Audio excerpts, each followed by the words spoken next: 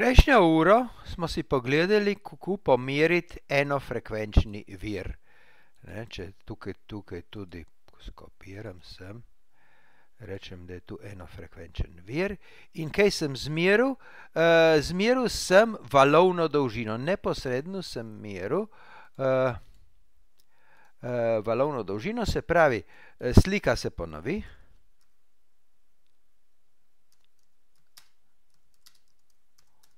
Vi, k, uh, ponovi, kdaj, uh, kadar je uh, delta L, uh, L, L enak uh, lambda. No, in tukaj nam tudi uh, uh, uh, ta preprosta uh, stvar, ta preprosta uh, relacija se nam, nam pove, odkud je toliko priljubljena valovna dolžina pri svetlobnih frekvencah. Ne? Frekvence, se pravi časovnega prostora, nimamo nobene, nobene možnosti meriti. Nimamo tako hitrih naprav, ki bi 10 na minus 15 sekunde znale meriti, recimo osciloskopa, ki bi 10 na minus 15 sekunde znal meriti eno femto sekundo. Pač pa imamo valovno dolžino, lahko tukaj s preprostim mehanskim premikom zrcala merim. Ne? Tako da tukaj je pa e, drugačna stvar. Ne? In zaradi tega toliko priljubljena valovna dolžina. Kakšna je zdaj valovna, povezava valovne dolžine z frekvenco? Ne? Smo rekli, da povezava bo zdaj e, s frekvenco je povezava tukaj noter? E, beta krat lambda mora biti enako 2 pi, ne? ne? Tu je povezava, ki jo imam, in fazna konstanta beta, pa je, ne? Fazna konstanta beta je v praznem prostoru, je pa zdaj uh, omega uh, deljeno z hitrostjo svetlobe C0 v praznem prostoru. Ne, tako da imamo povezavo nazaj do frekvence, oziroma tu bi lahko rekel, da je tu enako zdaj 2 uh, pi uh, frekvenca uh, deljeno z C0, ne, da tako zapišem, uh, zapišem cel izraz. Ne. No, in iz valovne dolžine, ki sem jo tukaj izmeril, lahko pridem do frekvence, eh, oziroma napišem zdaj tukaj eh, frekvenco, grem zdaj računati po izrazu. Ne? Če dam C0 na tu stran, eh, lambda bo verjetno od spodaj, 2 pi se pokrajša, ne? tako da na zadnje eh, bom zdaj imel tukaj. Frekvenco lahko šele izračunam iz moje meritve, ne, da frekvenca je pa c uh, nič uh, deljeno z lambda, z valovno dolžino, ki sem jo jaz izmeril. Se pravi, frekvenca je tukaj zdaj drugotnega značaja. Prvo sem izmeril valovno dolžino, kadar se mi je slika ponovila, kadar je bilo beta krat lambda 2pi. Tu sem izmeril in frekvenco sem šele izračunal preko formule. Zaradi tega je pri svetlobi toliko priljubljena merska enota valovna dolžina. Ne? Zdaj jasno, si moramo pogledati bolj komplicirane primere. Ne? No, bolj kompliciran primer bi bil ta, če bi jaz tukaj imel zdaj, bom tu skopiral, pa pobrisal, če se ne rabim, da bi imel zdaj tukaj dvofrekvenčni vir.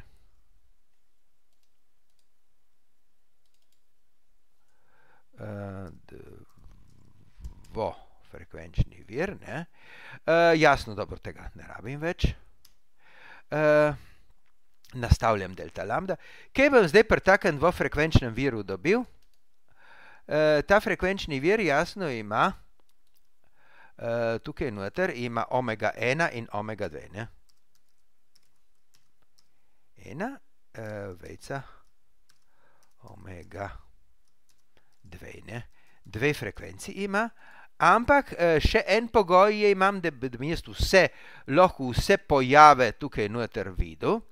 Uh, se pravi, to je malce bolj kompliciran primer. Bom poskušal raziskati, ali Michaelsonov interferometer nam lahko odgovori, da je ta vir dvofrekvenčen. A znamo mi te dve frekvenci pomeriti? Ne? Kaj se zdaj zgodi? No, ampak da dobimo interferenco, imamo pogoj. Ne?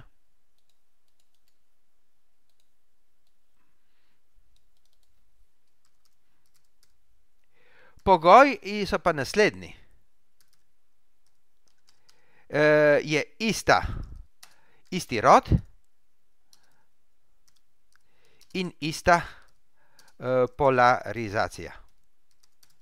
Ker če valovanje nima iste polarizacije, če ima E različne smeri, če je celo na različnih rodovih, interferenčnega pojava ne bomo videli. Ne? No in tukaj gor si zdaj lahko jaz zapišem, koliko bo zdaj moč vsote, tale moč vsote tukaj gor. Ne? Koliko bo zdaj, če jaz zdaj zapišem. Ne? In tu bo zdaj moč na prvi frekvenci, P1, ne, krat uh, ena polovica, uh, dva, in še ena polovica od kozinus, koliko? Uh, beta 1 delta L velik delta, veliki delta. L, ne, tu je, eh, tu je en, za eno frekvenco, bi tu dobil, ne, in za drugo frekvenco bom dobil še drugo moč, ne. Uh, za drugo frekvenco bom dobil še drugo moč, uh, lahko kar skopiram tu.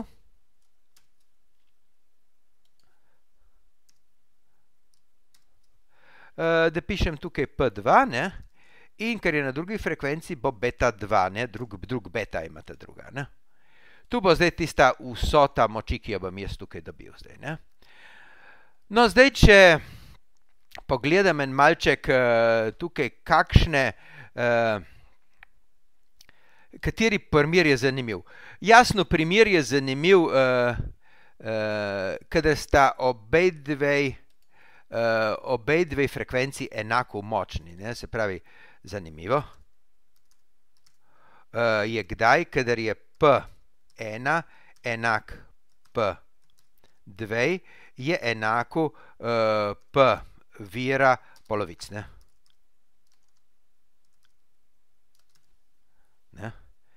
Tisto je tisti zanimiv primer. Ne? Eh, zanimiv primer, no in če si zdaj za zanimiv primer zapišem, kako izgledajo te stvari in upoštevam, uh, upoštevam vse tukaj za ta naš zanimiv primer, ne, uh, dobro, uh, lahko kar tako zapišem, če stvari seštejem, ne, uh, koliko rata tukaj, ne, uh, copy, kar to formulo ponudil, da bo manj piserije, ne? bo tukaj zdaj na začetku bo P upadni, P upadni, e, dobro, tega drugega dela ne bom imel, ampak tukaj bo ena polovica, če pa tisti kozinusa, zdaj, ker se jih seštev skupaj, ne? E, te dva kozinusa, v kop seštem, vso to kozinuso lahko razbijem na dvakrat produkt kozinusu. No, produkt kozinusu je zdaj tukaj uh, beta 1 in uh, beta 2 uh, eh, polovic. Da? No in, uh, joj, na robe sem napisal, beta, da over, tako. Tako? No, in še kozinus razlike, ker vsota dveh kozinus lahko razbijem na kozinus vsota in kozinus razlike? Uh, bom še tu uredil, ne? Uh, se pravi, še tega, še enkrat tu zapisati.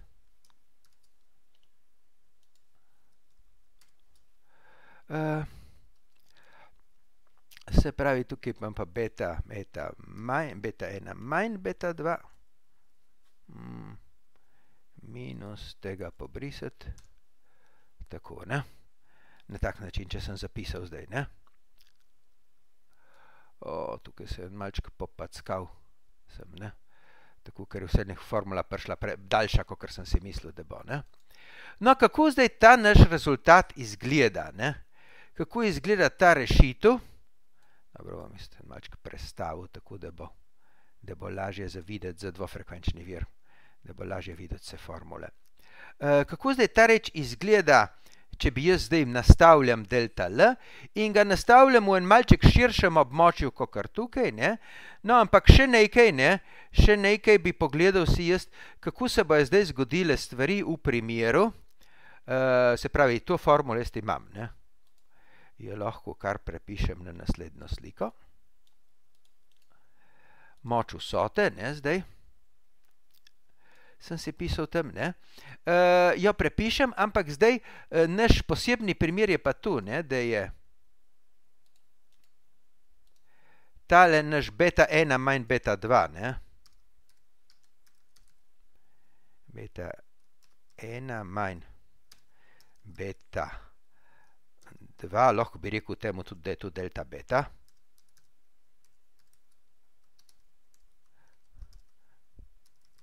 da je ta stvar majhna.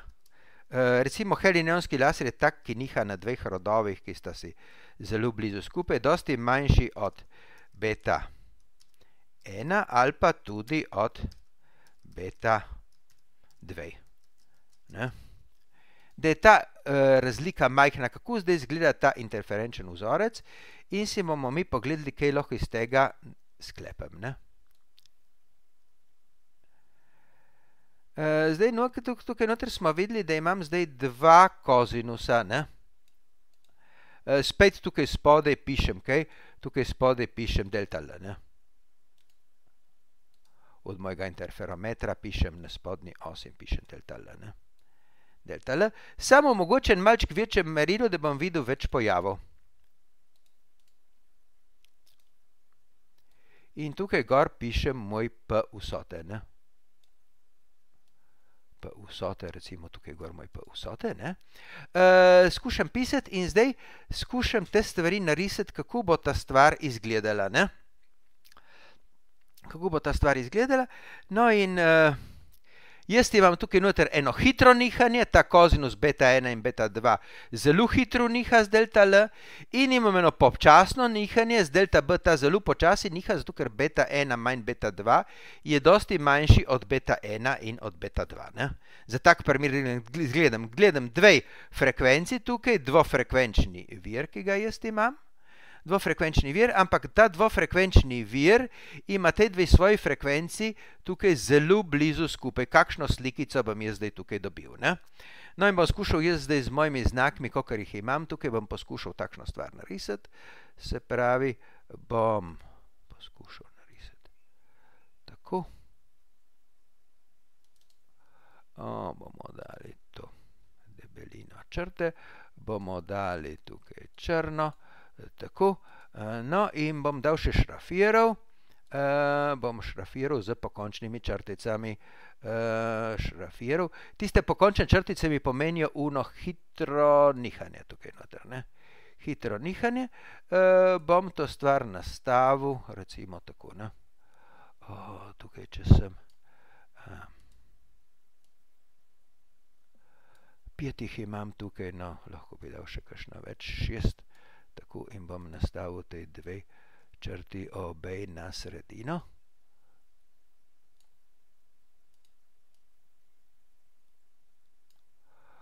Tako, ne? Uh,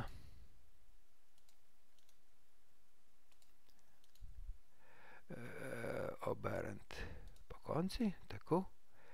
Bom dobil takšno zdaj uh, nihanje moči. Ne?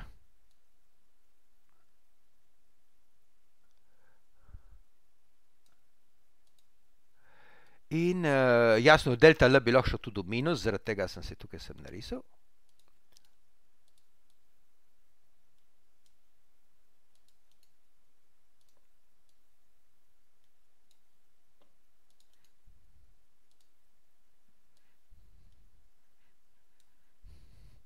Takšno nihanje moči, kjer na začetku imam zelo veliko nihanje, ker tukaj je ta počasni kozinus enka in hitro niha noter ta hitri kozinus tukaj. Ne? Se pravi, tukaj imam eno zelo hitro interferenco, ki čez čas izgine, ne? tukaj izgine in zdaj potem se spet prikaže. Ne?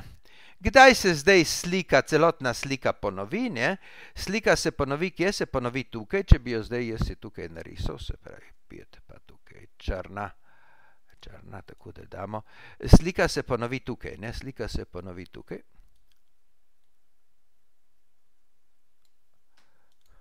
Uh, bom narisal, uh, ne, bom narisal črtkano črto, črtkano črto skušam narisati. Line uh, bomo dali črtkano. Ali pa bomo dali reč barveno, barveno, tako da bo boljše videti. Ki je boljše videti, kot kar črtkana na taki slikci. Kdaj se ponovi, na kakšni razdalji? Ja, tukaj, kadar je delta beta, uh, delta beta tukaj polovic, ne? Uh, kadar je ta delta beta polovic tukaj, uh, je, uh, se pravi, ta stvar tukaj, ne? Kadar je enaka čemu? kadar se ta kozinus ponovi, no še nekaj paziti, moram zdaj nekaj tukaj. Ne, da, uh, kozinus je lahko šel v plus in je lahko šel v minus, ta kozinus. Ne. Uh, tako da tukaj, uh, kdaj se ponovi, moram pogledati, kdaj bo spet ta beta. Mislim, da je ta stvar enaka pi, ne? oziroma bolj pravilno bi rekel tukaj, ne? kdaj bo ratalo 2pi, točka 2pi bo tukaj. Ne?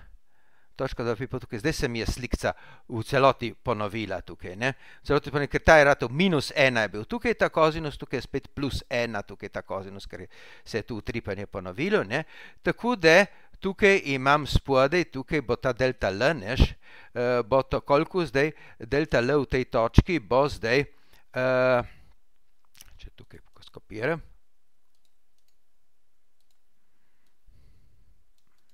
tukaj imam zdaj, delta uh, beta uh, krat uh, delta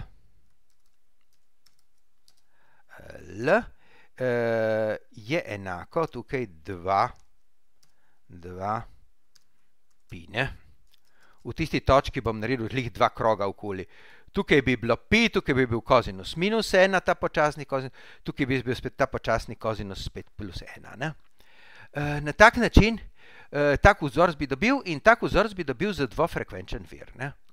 Za dvofrekvenčen vir zdaj vidim, lahko tukaj z mojo meritvijo, lahko tukaj zdaj dobim čisto, čist izraz iz tega, lahko izračunam, koliko je zdaj razlika dveh mojih frekvenc. Ne? Ja, tu drži gre. Uh, uh, uh, lahko tu temu rečem, da tu je primer dvorodovni.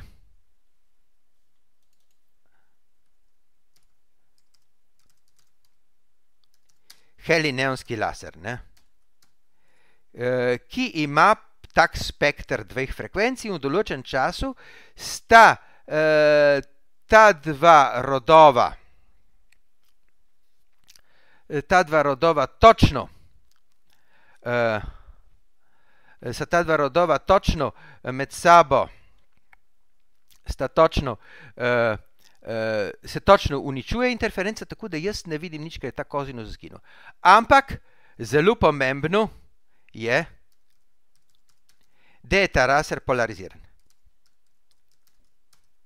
Ker če laser ni polariziran, uh, sta dva sosednja rodova na med sabo pravokotnih polarizacijah in tega interferenčnega vzorca tukaj ne bom videl. Ne? No, zdaj naslednja slikca. Uh, je pa taka, če bi jaz pa imel zdaj uh, vir, spravi, spet ta si slikco tukaj prepišem. Prerišem slikco.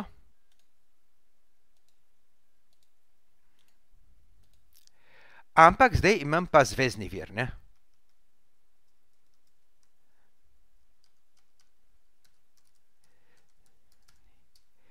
Zvezdni vir, ki seva nek zvezdni spektr. Ne? Zvezdni spektr se pravi, ki ima tukaj nek omega in ima nek delta omega.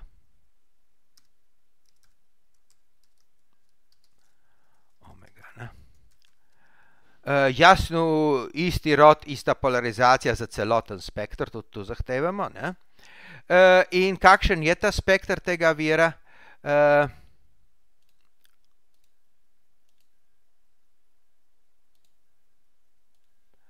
če pogledamo zdaj spektr, kakšen bo spektr tega vira. Uh, uh, če bi risal recimo tukaj zdaj frekvenco omega.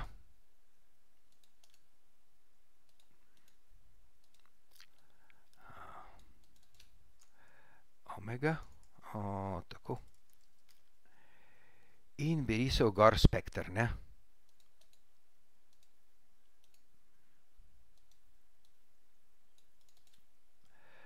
Se pravi f od omega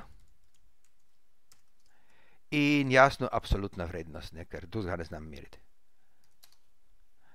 Absolutna vrednost, uh, ja, uh, tako, zaviti oklepaji še manjkajo. Ne bom vse pravilno napisal, tako. Uh, kakšen spektr ima ta vir? Ta nefir nema zdaj zvezen spektr. Zvezen spektr, ki ima nek, neko širino delta omega tukaj, ne? Pr neki osrednji frekvenci tukaj, pr neki osrednji frekvenci nek omega nič.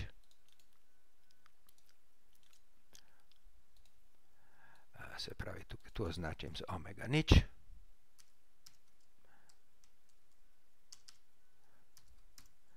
Nič.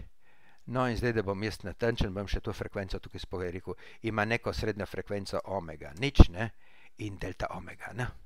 Jasno, če hočem zdaj zanimive pojave videti, ne, je uh, vpraš, uh, zanimive pojave videti, uh, spet pogoj je, da je celoten spektr na istem rodu, na isti polarizaciji, da se znotraj tega spektra tukaj, uh, bom tukaj narisal rdeče ali pa tako znotraj tega spektra, da se ne spreminja polarizacija, da ne preskakuje laser med različnimi rodovi. Ne?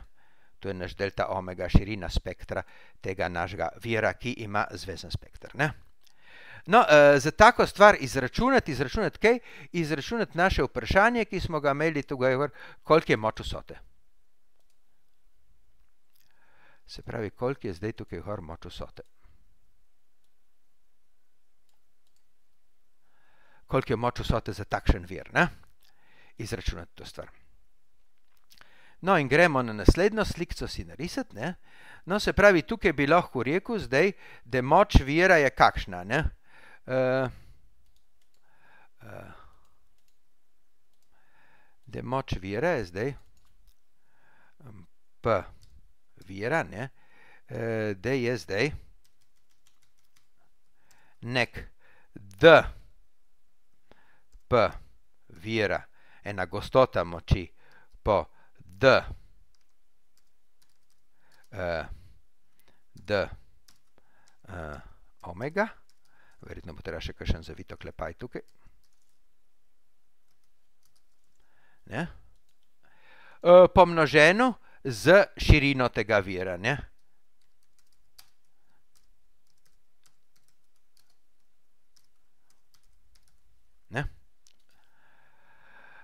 in kakšna bo moč vsote, zdaj tista moč vsote, nekaj jo imam, se pravi tukaj, ta neznana moč vsote. Ta neznana moč vsote bo zdaj kaj? Bo zdaj integral. Od začetka, recimo od omega 1. Uh, eh, from, from, from, tu omega 2. dve, ne, e, bo ta dp vira, ta naš podatek, e, pod omega, e, e, zaviti oklepaj rabim tukaj, d omega, ne, e, tu bo, e, ja, moram tako zdaj pisati tukaj, zaviti oklepaj še tukaj, ker bo tu vse pod integralom, vse pod integralom bo tukaj noter, ne, Tako, ne? In tu pomnoženo s tistim našim vzorčkom, ki bi ga dobil za eno samo frekvenco. Ne? Se pravi, tukaj bi bilo zdaj oklepaj.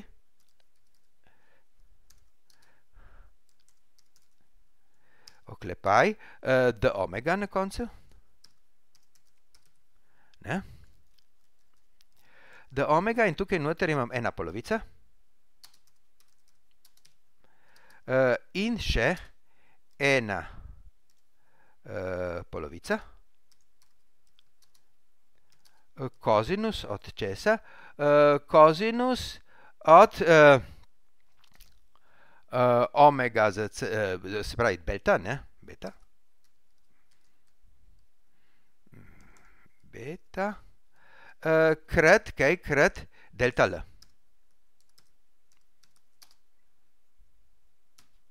L tukaj, ne? Beta delta L tukaj, ne? Imam tukaj. No, in uh, uh, ta integral zdaj rešiti s tem, da beta vemo, da vsebuje frekvenco. Ne? Beta vsebuje, če gremo nazaj, pogledati gor, ker smo bili še pri enofrekvenčnem viru, beta vsebuje frekvenco. Ne? Tako da znamo, kako tak integral rešiti. Ne? Uh, nekaj zelo pomembno tukaj je, da tukaj je počasen opazovalec. Uh, sicer takšni izraz ne velja.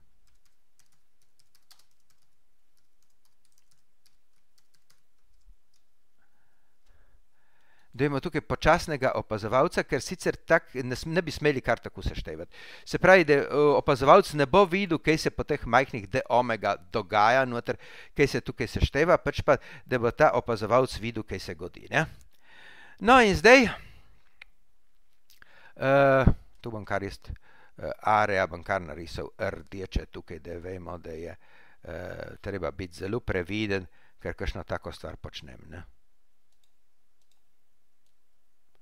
To velja za počasnega opazovalca. Kako si lahko zdaj takšno enačbo poenostavim? Ne? Uh, ja, predvsem ta dp pod omega, tu lahko dam, to je konstanta, ne? to je uh, gostota mojega spektra, ne? to je ta višina tukaj tega pragu gor. Ne?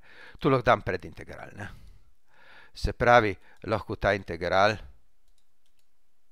poenostavim. Se pravi, dam predintegral, dam zdaj uh, p vira vira, uh, deljeno uh, tisti naš delta omega. Ne? Uh, mali omega. In tu moram dati zavite oklepaje, zdaj, da bo vse v imenovalcu. Ne? No, in zdaj lahko tu, tu pobrišem. Tu pobrišem noter, tako da mi ostane samo integral tega tukaj spodaj. Ne? Integral, kjer beta namest bete spet lahko pišem, kaj je. To je omega za c nič. Ne?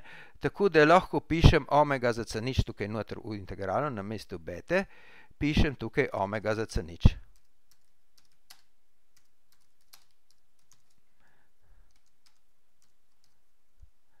C nič tako, ne? Omega za c nič, da lahko zdaj to integracijo naredim, ne? koliko je integral kozinusa. Ne? No, in integral kozinusa je, zdaj tukaj, če si ga jaz zapišem, koliko rata integral kozinusa. Ne? Uh, integral kozinusa bo zdaj tukaj, zdaj, če pišem naprej. Ne? Uh, in, uh, polovica mi da polovico pred integral, se pravi uh, omega 1 manj omega 2 je delta omega polovic, se pravi, če tu spet rešujem. uh, kaj dobim od spredi. Od spredi dobim zdaj uh, delta omega. Uh, zdaj moram tukaj rešiti v integralu noter. Ne? Uh, se pravi, smo rekli tu prva polovica. Uh, Uh, pa brez omega od zadaj, ker bom pointegriral. Ne? Prva polovica mi bo dala per integraciji delta omega polovic, ne? se pravi tukaj je delta omega.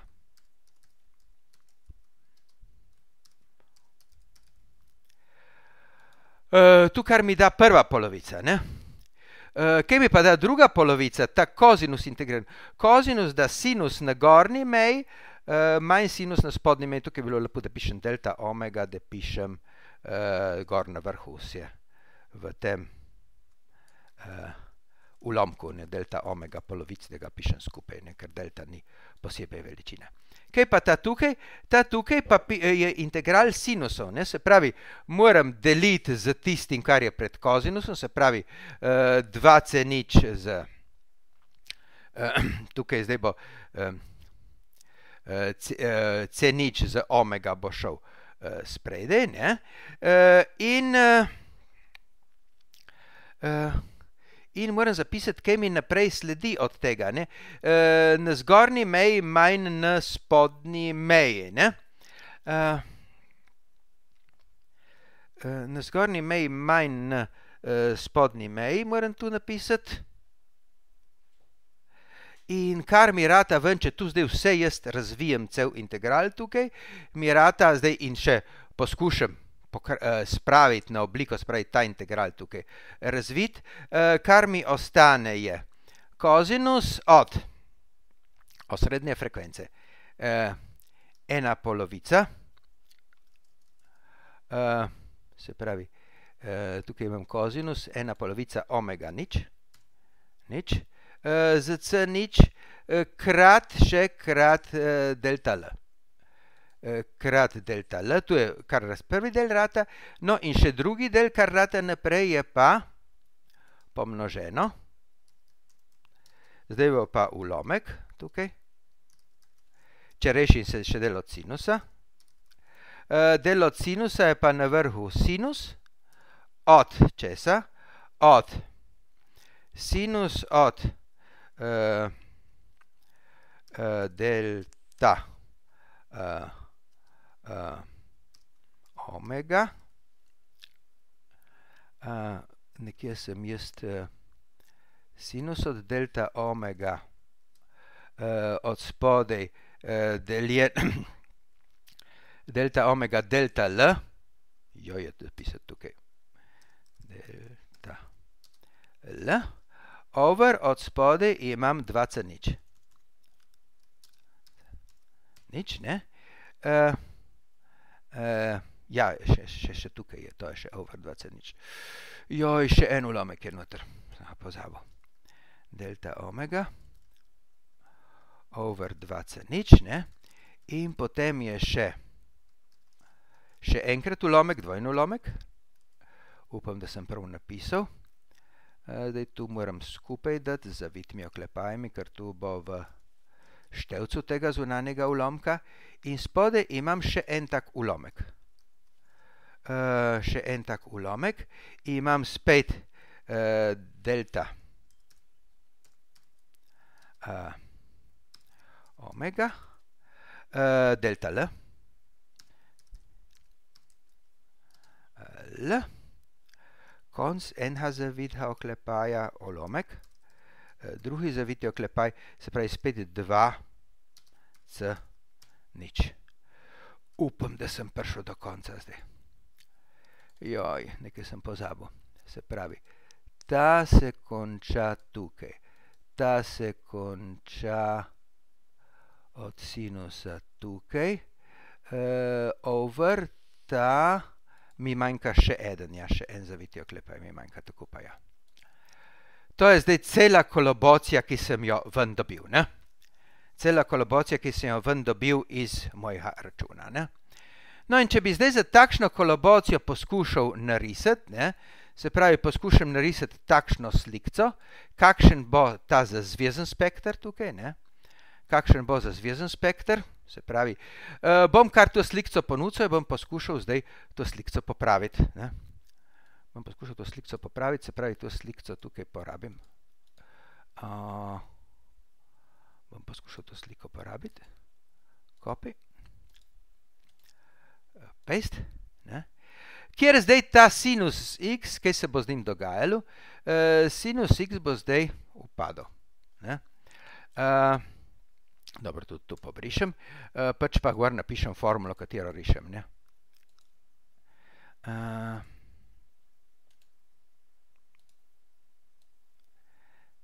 Ne se bat, ta delta omega, gledajte, se lepo v dvojnem ulomku se bo lepo uh, pokrajšal, ne, tukaj noter, ne.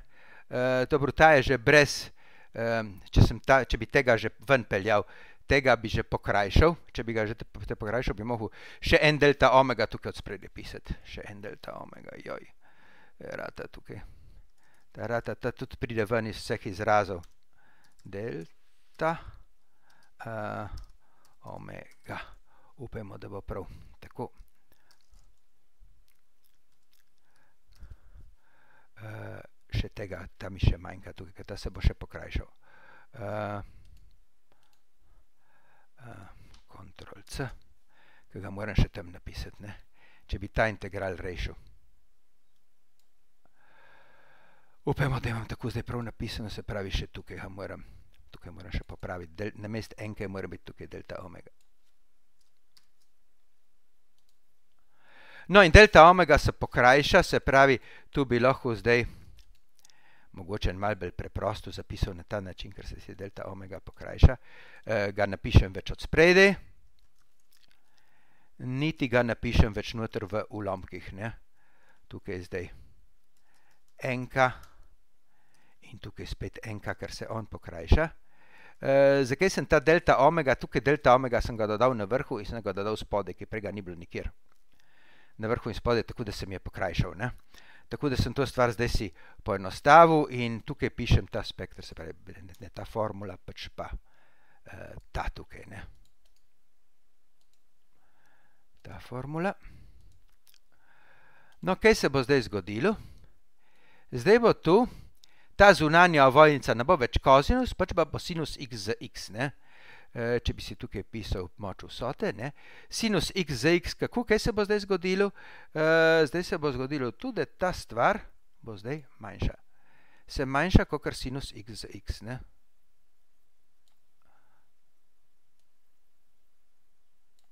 Tako, ne. Ta tukaj bo še manjši.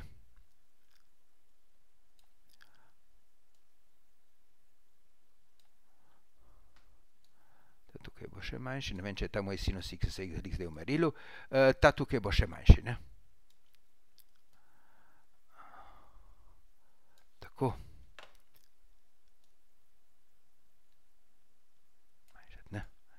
No, zdaj mene, katera točka me zanima, mene me zanima ta točka, kadar ta stvar presahne tukaj, prvikrat, ne.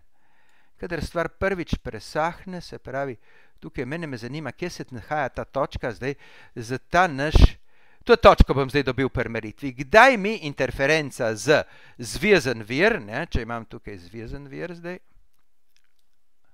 se pravi, bom tu prekopiral to eno slikco, ne, za zvir, vir za zveznim spektrom, kopi. Uh, kdaj ta slikca zdaj, kdaj ta stvar zdaj presahne? Kdaj presahne ta stvar tukaj. Kdaj se ta presih zgodi? Presih se zgodi takrat, kadar bo sinus x z x enako nič. Ne? Se pravi, lahko kar rečem, kadar bo ta argument tukaj enak pi. Ne? Se pravi, ta argument tukaj lahko zdaj, da ne bom še, še trikrat zmotil, bom kar tu prekopiral, bom pa kar tu uredil, ker bo ta spodnji argument, se pravi ta spodnji argument tukaj, tako pa brez uh, oklepajev na koncu, ne? ta naš spodnji argument, ker bo ta stvar enaka pi, ne? Takrat je sinus x za x enak nič, ne? Uh, pri tistem delta L, ne?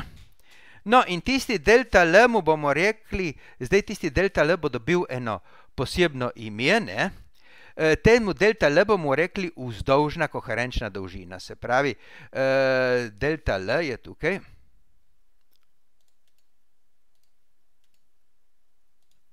Tisti posebni delta L, kadar se tu zgodi, ne? Kadar se tu zgodi.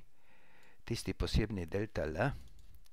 Delta bomo rekli D vzdolžna.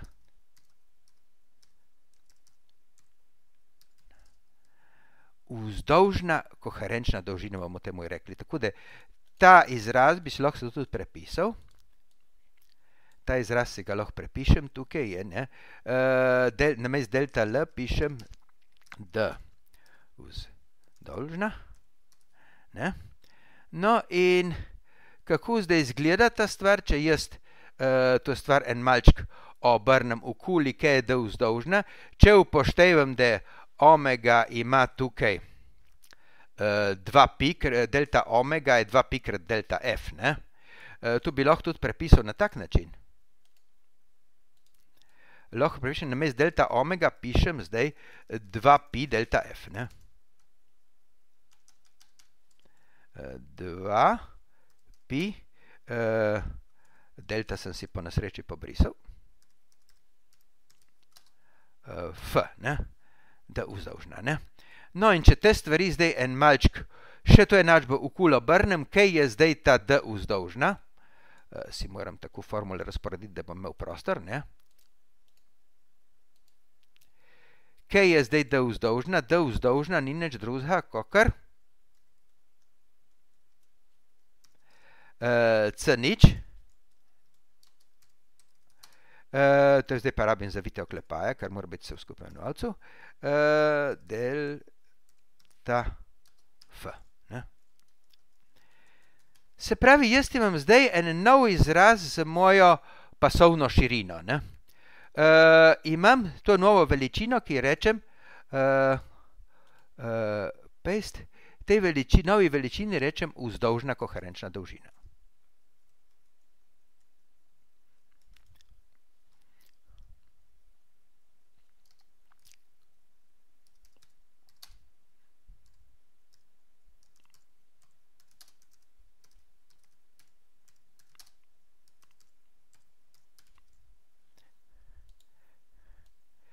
No, uh, tu je zdaj za me nova veličina. Uh, bom naredil namenoma to formulo pobarval tukaj, uh, da, bomo imeli, da bomo vedeli, da je pomembna. Uh, se pravi, tu je zdaj moj, moja nova, nova veličina tukaj, ki mi bo povedala, kakšna je širina spektra z mal drugačnimi mirskimi enotami od tistega, kar smo bili mi vajeni. Ne? Se pravi, vzdolžna koherenčna dolžina je nekaj, kar lahko jaz izmerim. Z razmeroma preprosto napravo lahko to stvar izmerim. Ne? E, da vzdolžna smo tukaj, ne? da je tista točka, tista točka, kjer se tisto zgodi. Kader mi, meni, no, ne bo šlo z barvo, ne bo šlo z barvo, ker mi ne stoji na tabli. E, da vzdolžna je preprosto tista razdalja, kjer mi kakršen koli interferenčen pojav izgine, se pravi, kjer za ta vir ne vidim noben interferenc, ne več za majhne premike delta L tukaj. Potem začnejo, začnejo stvari spet naraščati, spet upadati, ne, če sem imel tak pravokoten spektr, jasno. Da, ne. Najmočnejšo interferenco pa jasno dobim, kadar je razlika poti enaka nič. To je tista razlika poti, kjer vsakršna interferenca izgine. Ne. Uh, no, še nekaj. Kako zdaj uporabljamo mi Michelsonov interferometer? Če smo čist pri interferometru, če še ta interferometer zdaj tukaj eh, skopiram, to je našo slikco. Ne? Uh, jaz lahko te pojave vidim še na drugačen način. Lahko te pojave vidim. Ne? In sicer uh, zrcala niso vedno pravilno postavljena. Ne? Zrcalo, mogoče tu zrcalo tukaj ima neko majhno odstopanje. Ne? Neko majhno odstopanje bi ga jaz tako narisal za neko črtico, da sem ga malo poševno dal. Ne? Se pravi, eh, bom dal črtkano črtico tukaj, da bom videl, kaj sem napravil. Ne? Če je tu zrcalo en mal poševno, kaj se zdaj zgodi? Zrcalo dva en mal poševno. Ja, če je zrcalo en mal poševno, ta ležarek bo zdaj uh, en mal bolj gor šel. Uh, tudi ta ležarek tukaj, ki je šel skozi, bo zdaj šel en malček navzgor. Ne? In ta žarek tukaj, ki se bo odbil, bo en mal šel sem. Uh, ja, kaj se zdaj zgodi, se pravi, uh, če je tukaj napaka zrcala, ne? kot na napaka zrcala. Ne? Kaj se tukaj zdaj zgodi? Uh, jaz zdaj en žarek ima valovne fronte, tako, če jih tukaj valovne fronte narišem, ta žarek ena ima valovne fronte, tako.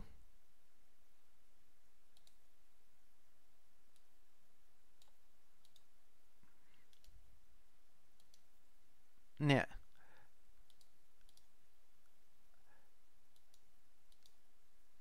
Nekaj sem si narisal, zdaj viška, ojej.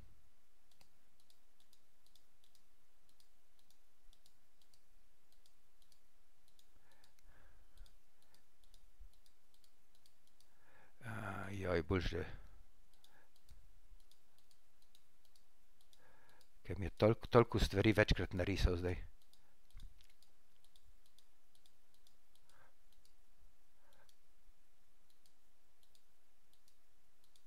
Upajmo, da uspem pobrisati, no.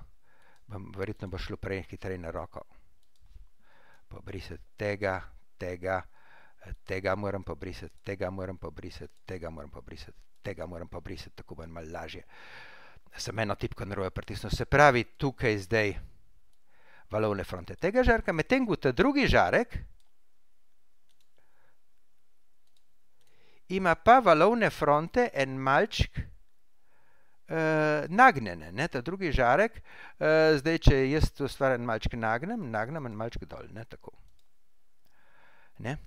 Zdaj, te nagnjene valovne fronte, kaj bojo naredile? Bojo naredile interferenco. Se pravi, jaz tukaj bom zdaj dobil interferenčne proge.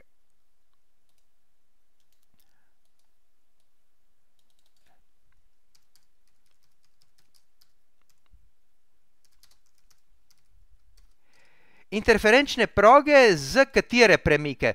Z te te majhne premike, z majhne premike, z tiste te majhne premike, ki, uh, te majhni premiki, ki so uh, tukaj, te majhni premiki, ki so pri tem hitrem kozinu, so tukaj noter. Ne? Za tiste vidi interferenčne proge, v tej točki tukaj, ker sem na tej razrcal, tej točki, bojo interferenčne proge točno izginile. Se pravi, če sem en malo šlampast, pri moji meritvi si lahko delo znatno poenostavim. Če te dva žarka nista brezhibno usporedna tukaj, si lahko delo znatno poenostavim in dosti hitreje dobim, ker te interferenčne proge izginejo, takrat sem prišel z razliko poti točno tukaj v tole D vzdolžno. Tako da lahko uh, vzdolžno koherenčno dolžino izmerim na dosti bolj enostaven način. Vzdolžna koherenčna dolžina bo zdaj novo merilo z širino spektra. Ne?